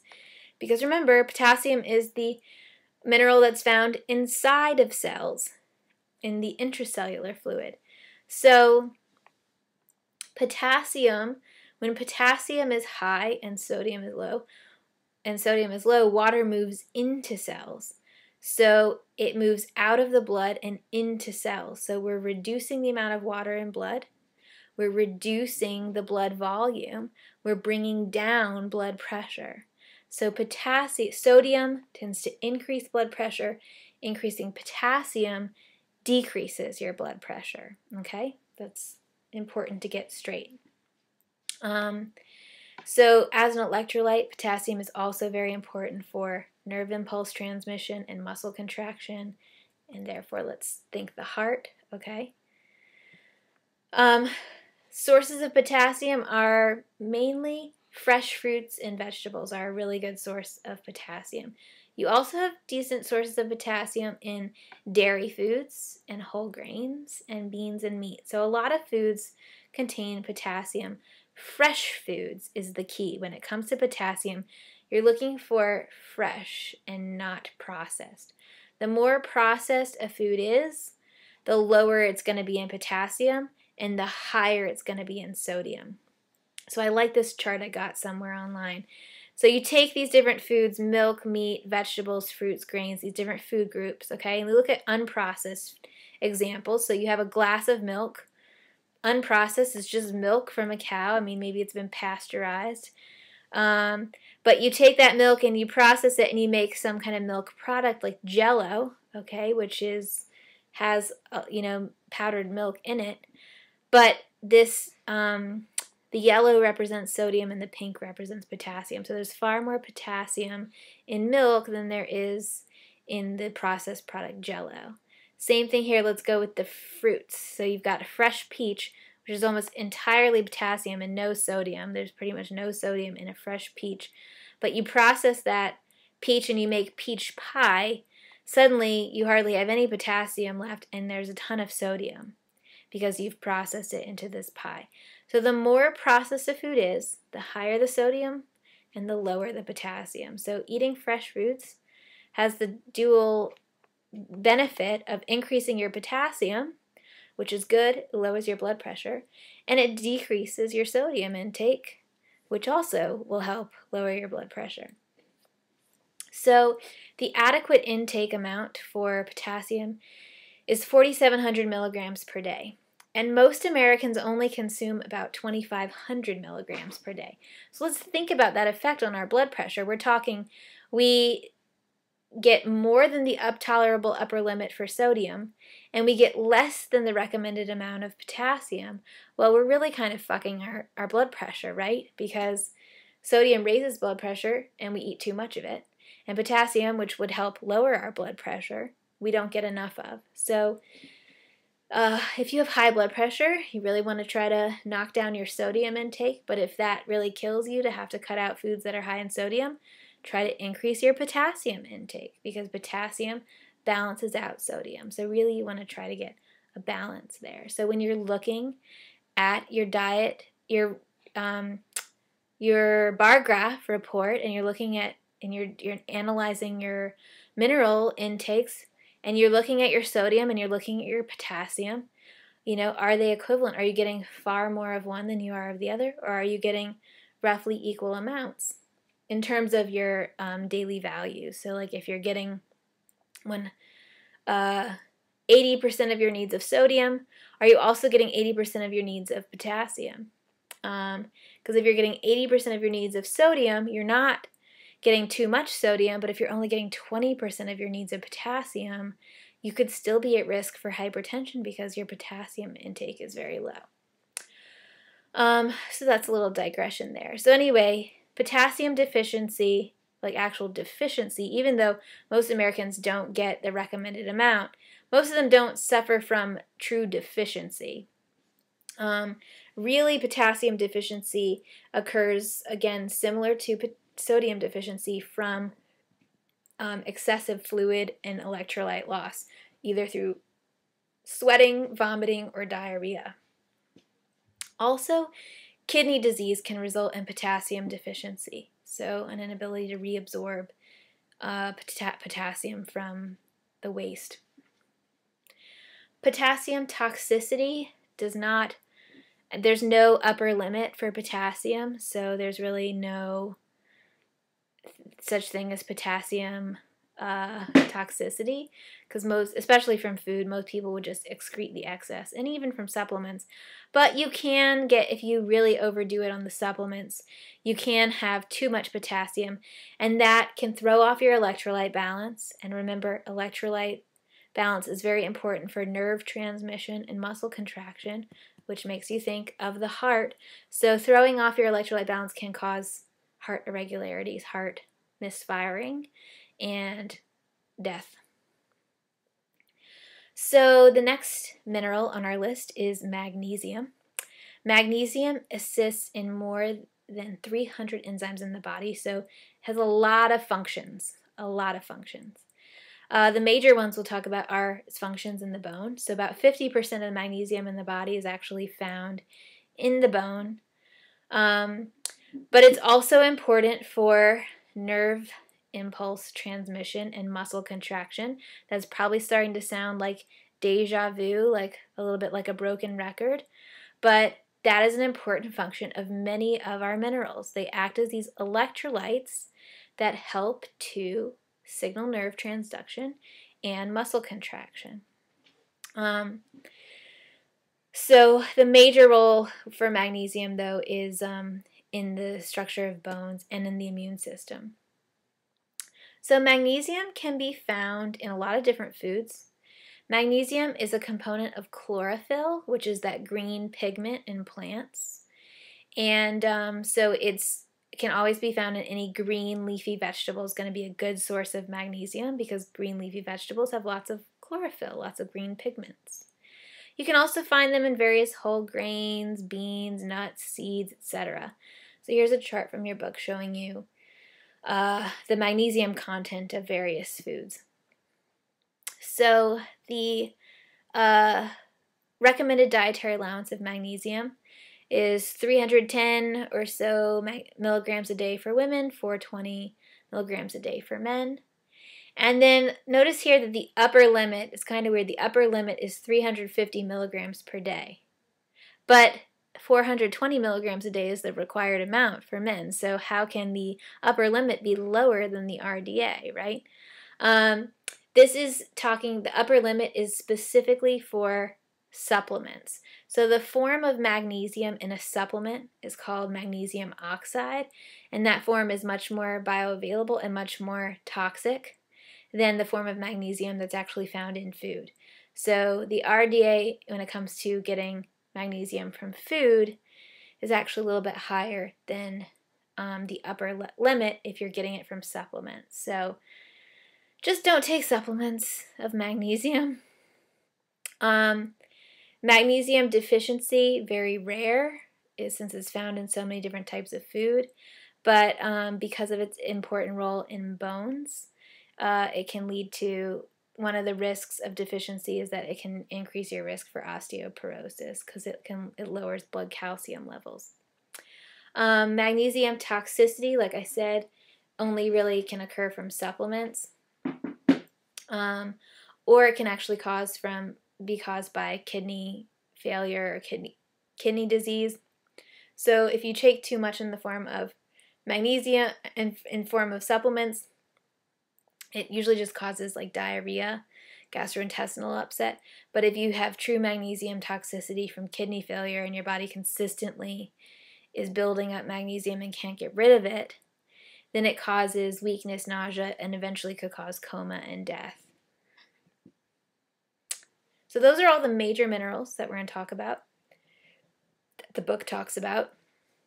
The next group of minerals are the trace minerals.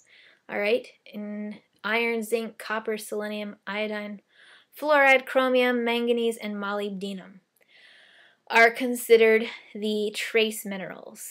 Um, and I can tell you already that the book forgot to discuss copper, manganese, and molybdenum. Molybdenum. I can't even feel like I say that wrong. Um, and fluoride, which I already discussed. So fluoride has been discussed. But so the book leaves out some discussion of these. So that's, uh, I guess, nice for you. There's fewer for you to know. If I was still teaching from my old textbook, you'd have to know them all. Um, but the ones that it leaves out are not particularly uh, important. So the ones that are important you'll know because I'll have more slides about them. Iron being an extremely important trace mineral. Um, iron makes up the uh, oxygen binding portion of hemoglobin, which is the molecule in red blood cells that transports oxygen. So you have these red blood cells, they have this tons of hemoglobin molecules in them.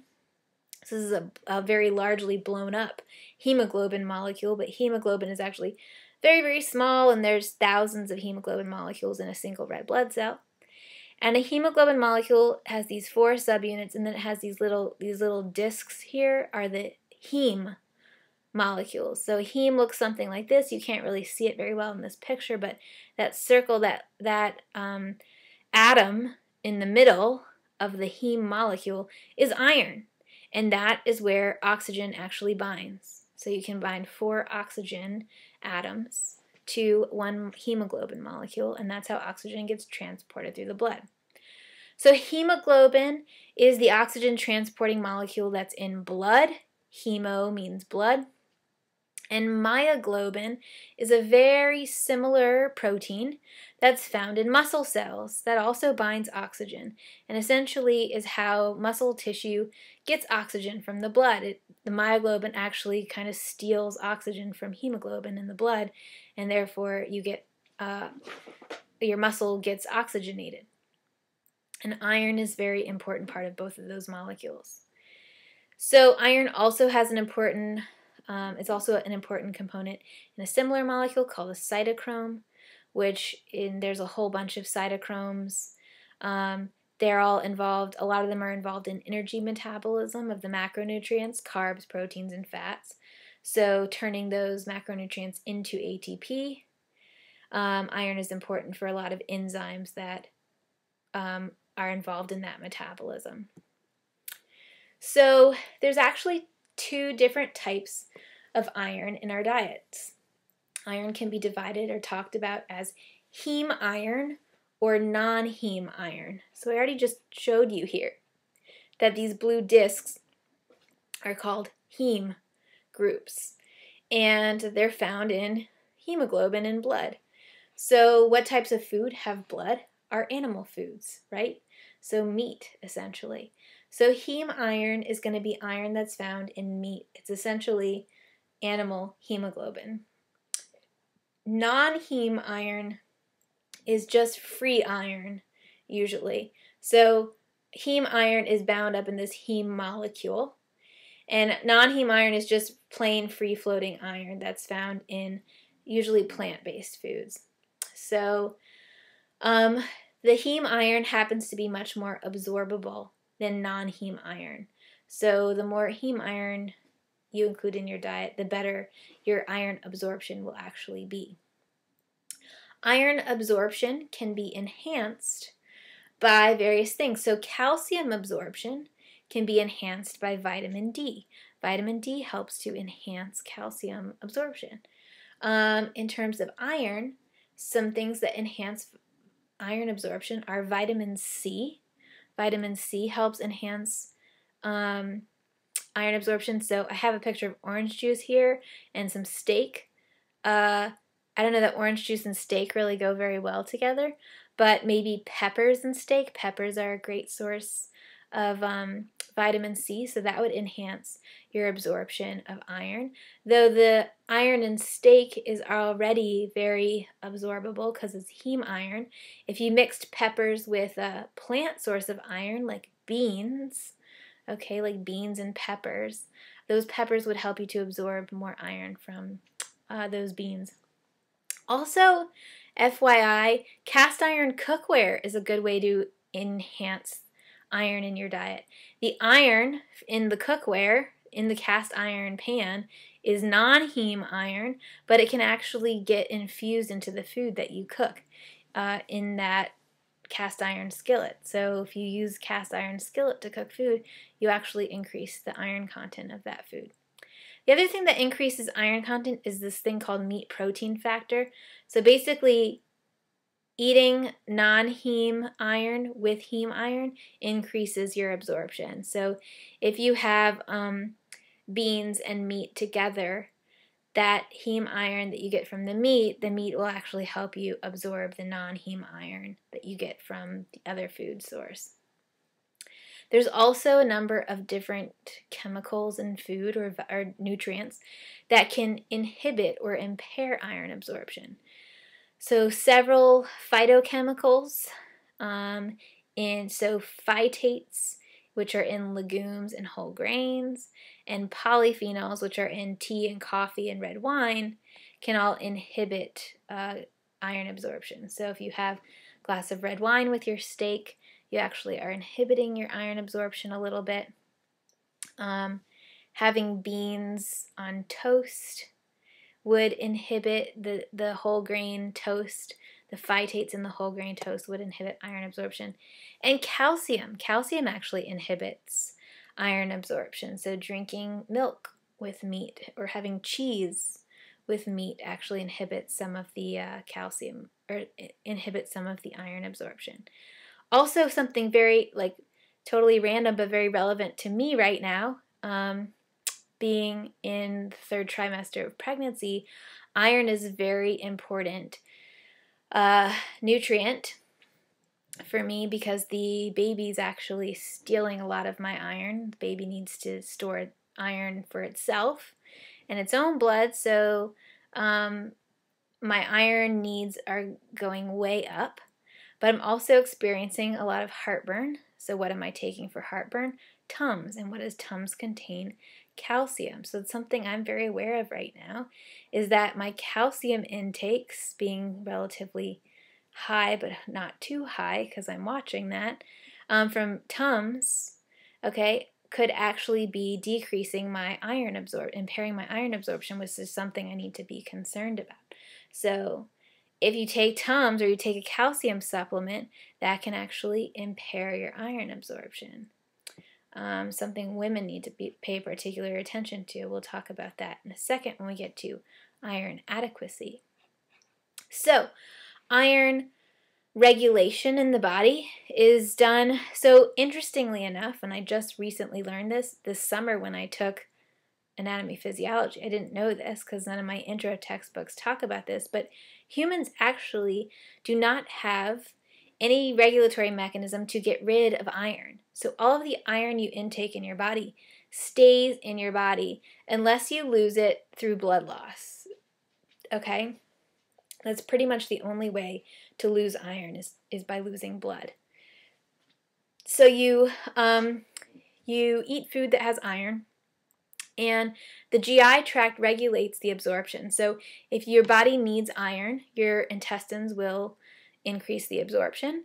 If your body doesn't need iron, then your in, and your intestines won't absorb any iron. That's how it gets regulated. It's regulated by your body regulates absorption of iron, not excretion of it. It, it can't excrete iron, though your, your textbook I think says that it does, that it excretes it through urine, through urine or something, but it doesn't. Um, so you you absorb iron, and the iron goes to make red blood cells, new red blood cells. And those red blood cells flow through your system for a while, but red blood cells get old and die. And then the spleen breaks them down, and that iron gets recycled. So that iron goes back to make more red blood cells. Or if you have excess iron, it can get stored in the liver. So the liver can store some excess iron in order to make new red blood cells and whatever. And when your liver stores are full, then your body stops absorbing new iron. Um, and the only way, again, the only way that we lose iron is through bleeding. Now, men don't bleed, I mean, unless they injure themselves. Um, but women happen to bleed for seven days every month, more or less, give or take. Um, there's some quote, I don't know, remember what movie or book it's from, but some quote that's like, I don't trust anything who can bleed for seven days and not die. Okay, that's women um, who are on their periods.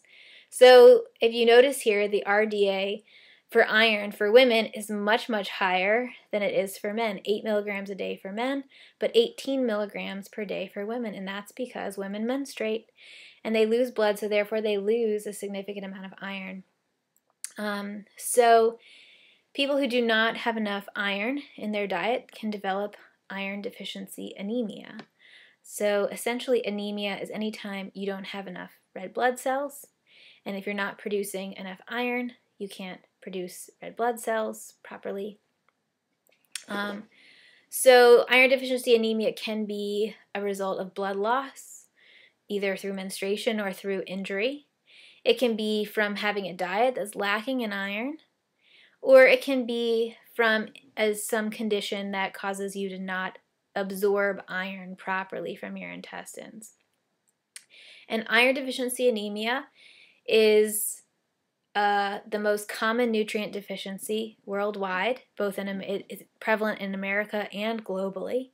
Um, whereas a lot of these nutrient deficiencies you really don't see, a lot of these mineral deficiencies you really don't see in the U.S. at all. But iron deficiency is very common, particularly in young females um, who have just started menstruating, so they're losing a lot of iron, but they are not eating properly and um, not getting enough iron in their diet. Um, people who have higher needs of iron include pregnant women, which I already talked about, vegetarians who don't eat any heme iron, okay, particularly vegans who don't get any heme iron, so they're basically relying on non heme iron um, which is not very bioavailable. And infants and toddlers have higher iron needs because of their they're growing so quickly, so they're producing you know more blood, and um, so they have higher iron needs as well. Um, iron can be toxic, however. Iron deficiency is a real thing, but so is uh, iron toxicity. So, iron toxicity can occur if you are taking iron supplements, and it's particularly dangerous for children and is actually a very common cause, the most common cause of poisoning deaths in children. Because what happens is uh, they get, so children's vitamins are always like these fun, um, you know, candy flavored sort of you know, they're like candies. They look like candies, they taste like candies to kids. And if you don't keep an uh, you know, keep them out of reach of children and children get into them, they can overdose uh, on vitamins. And the vitamin that kills them, usually from overdosing on vitamins, is iron. Well, that's not a vitamin, it's a mineral, is iron. So here's a example here of Flintstones with iron. And again, children infants and toddlers have increased need for iron, so a lot of times iron is included in children's vitamins. But there is a warning if you read the back of the bottle. It says, Warning accidental overdose of iron containing products is a leading cause of fatal poisoning in children under six. Keep this product out of reach of children. In case of accidental overdose, call a doctor or poison control center immediately. So, iron overdose is really a serious and can be a fatal problem for children if they get their hands on these, these vitamins. Um, it starts off with acute vomiting and diarrhea and can quickly progress to liver, total liver failure, coma, and death. So, uh, if you have kids and they take iron containing vitamins, make sure they know that vitamins are medicine and they cannot eat them like candy and you need to keep them out of reach.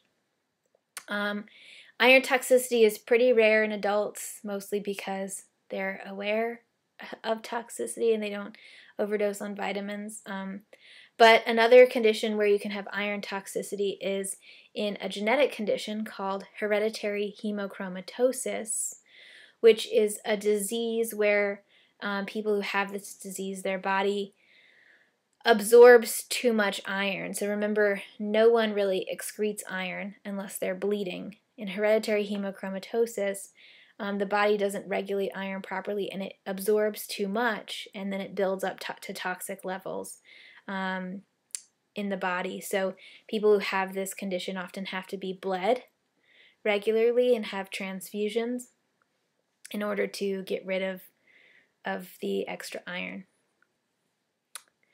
Zinc is another trace mineral that's important for blood functioning. Copper is too, even though the book doesn't talk about it. Iron, zinc, and copper are all very important for the blood. So, zinc is also involved in hemoglobin production, like iron is. It's also important for immune function and for wound healing. Those are um, some of the more important roles that we'll talk about.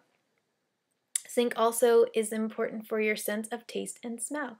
If you have zinc deficiency, one of the signs is a loss of sense of taste and smell. And zinc is required for normal growth. So, I meant to insert the picture here from the book where the um, zinc was first discovered as an essential mineral when um, this doctor in Egypt found this population of Egyptian men that were all um, stunted, growth stunted, and both physically in height, in stature, and um, sexual matur- maturity. So, and they were when he compared their diets to those of other diets in the area, he found they were deficient in zinc, and replacing zinc in their diet uh, caused them to grow properly again. So um, I guess I'm getting ahead of myself a little bit when it comes to deficiency. So, sources of zinc there's a lot of sources of zinc in the diet, some notoriously high ones. Oysters are notoriously high in zinc, like off the charts high.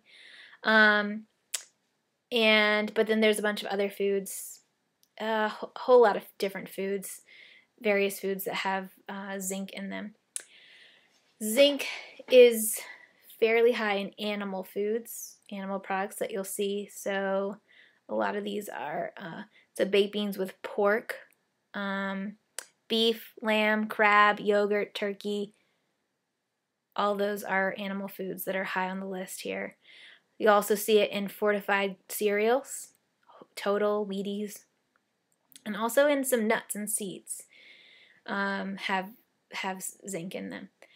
So um, something about all those metals that are important in the blood, iron, zinc, and copper, uh, they all inhibit each other's absorption. Okay, so non-heme iron will inhibit zinc absorption, zinc inhibits copper absorption, etc. So um, the issue with that is when it comes to vegetarians. So first of all, a lot of the sources that that are high in zinc are animal products, um, and if they have non-heme, if there's non-heme, so so already zinc is very limited in plant and in plant products when it comes to vegan, vegans and vegetarians.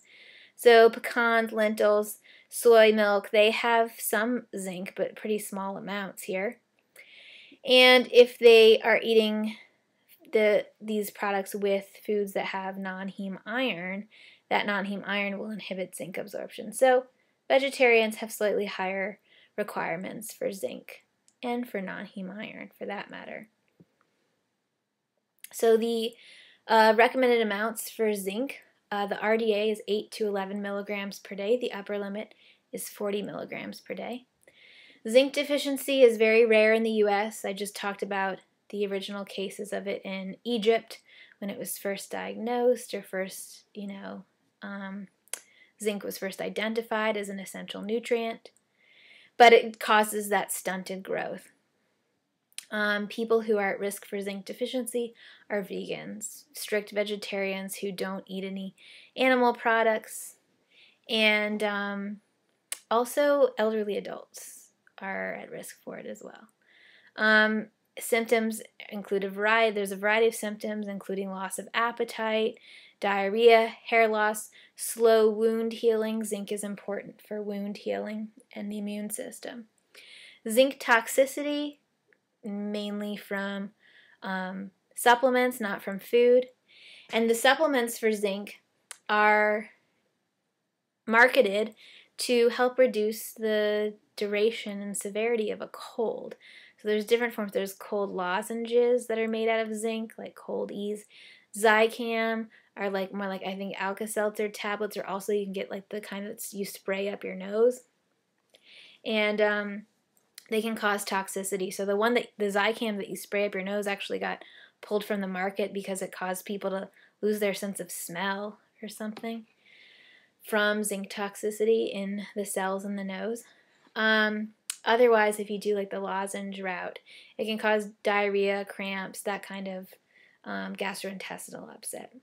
And furthermore, those supplements, which claim to reduce the duration and or severity of colds don't actually do that. According to scientific research, there's no evidence that suggests that they actually help the common cold. So, um, and they also taste nasty. They have like a metallic, zinc is a metal. They have kind of a metallic taste to them. Um, iodine is another important trace mineral. It's important for making thyroid hormone, and your thyroid is actually in your chest right above your, no, that's your thymus, your thyroid, sorry, in your neck. Uh, remember, your thyroid is involved in calcium regulation. So you have your thyroid, that butterfly shaped gland, and the back of it is the parathyroid gland. So the thyroid gland um, helps regulate calcium, but the mineral that's very important for regulation of the thyroid is iodine. And the thyroid, not only in regulates calcium levels, but it also regulates the rate of your of metabolism, the rate at which you burn calories essentially. So um, you want to have a healthy thyroid gland. And iodine in the diet comes from again, all minerals come from soil. Any food that's grown in soil that contains iodine is going to be have a fair amount of iodine in it. But the main source of iodine in the US diet is actually salt um, we iodize our salt in this country. So if you go buy like a thing of salt, it usually says iodized salt. We add iodine to it to prevent iodine deficiency because iodine deficiency is not pretty. Um, in adults, or I guess children as well, who suffer from iodine deficiency, they develop something called a goiter essentially it's the thyroid gland swelling. So thyroid gland's in your neck and it swells and gives you like this big swollen mass of a neck. Um, because it's swollen, it's not producing enough thyroid hormone. Iodine is needed to produce thyroid hormone. And if you don't get it, it swells, and that's called a goiter. And if pregnant women are iodine deficient, their babies are born um, with mental retardation called cretinism. It's a form of mental retardation that's caused by iodine deficiency due to the role of iodine in fetal development and fetal brain development.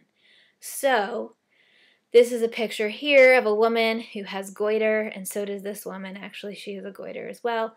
This one is the daughter of the one on the left, and she has cretinism, this form of mental retardation. So it is a preventable form of retardation if you make sure that you get enough iodine. So that's why we supplement our salt uh, with iodine. So it's very rare. Iodine deficiency is very rare in the US, but it's still actually a big problem globally, worldwide, where they don't have access to iodized salt and they don't have a lot of iodine in their soil where they grow food. And hence, in Bolivia, which is where this picture was supposedly taken, you still have a high incidence of goiter and cretinism. Iodine toxicity, if you get too much iodine, actually also causes goiter. So uh, it's like it's toxic to your thyroid either way. I, if you have too little iodine or too much iodine, your uh, thyroid gets angry and gets goiter. So, um, I had this question in the past, and the book actually touches on this too because um, I was teaching this class in 2011 when there was that big earthquake in Japan and there was the big that nuclear power plant um, was leaking radioactivity. Okay, and um, at the time, potassium iodide supplements were being sold to prevent uh, radiation poisoning or certain types of radiation poisoning, and they were flying off the shelf. Like you couldn't get potassium iodide anywhere. Even in New York, people were buying it up because they were afraid of, you know, radiation traveling or something.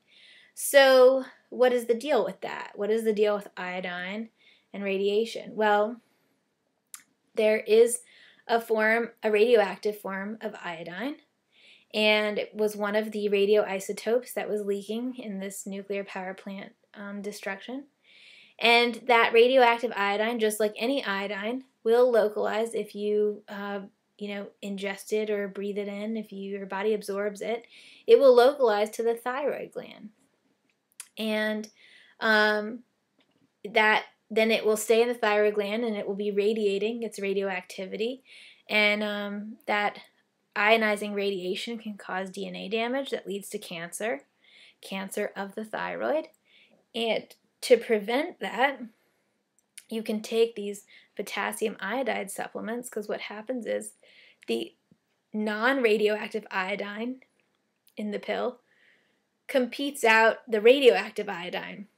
So if you have a little bit of radioactive iodine and you take a shit ton of potassium iodide, that extra iodine will sort of bump out the radioactive iodine and you'll really you'll excrete that from your body. And um, it helps.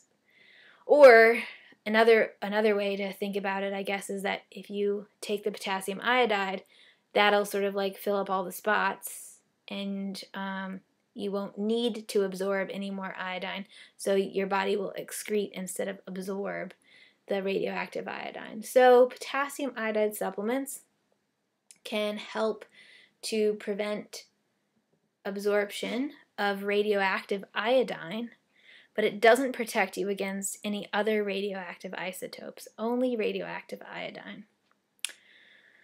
Um, so, we're almost done the last couple of uh, trace minerals, which are um, pretty unexciting, are selenium and chromium. So selenium is, is found in a lot of places. Again, it's found in the soil. Any food that's grown in soil with selenium has selenium. Any produce that's grown in soil with selenium has selenium in it. So selenium also is important for making thyroid hormones, just like iodine is. Selenium is also an important antioxidant. So it joins in that group with those antioxidant vitamins, which is vitamin E, vitamin C, vitamin A, and various phytochemicals. Okay, selenium is the only antioxidant mineral, um, as opposed to the vitamins. So it's pretty important for that. And because of its antioxidant function, it is sold as a supplement that is marketed to help prevent um, cancer and heart disease, which remember antioxidants might play a role in because uh, oxidation is thought to that damages DNA can cause cancer. Oxidation of LDL, bad cholesterol, can lead to atherosclerosis and heart disease. So it's thought that antioxidants help prevent some of these diseases. So selenium is marketed to prevent, you know, on the bottle it might say something like prevents cancer or prevents heart disease. But all research suggests that it's totally inconclusive. Uh, there's no research that supports that selenium does or does not prevent those diseases. So take it at your own risk. Um, toxicity can occur, but it's pretty rare. Also, deficiency is pretty rare because it's in a wide range of foods. Mushrooms are notoriously high in selenium. Um, and then the last one that I'm going to talk about is chromium. Chromium is um, one of its important functions is in glucose transport. So, um, because of that, because it helps to transport glucose into cells, it's marketed as a supplement to um, treat diabetes or to help type 2 diabetes because it's thought that it increases glucose transport. Again, research there is totally inconclusive.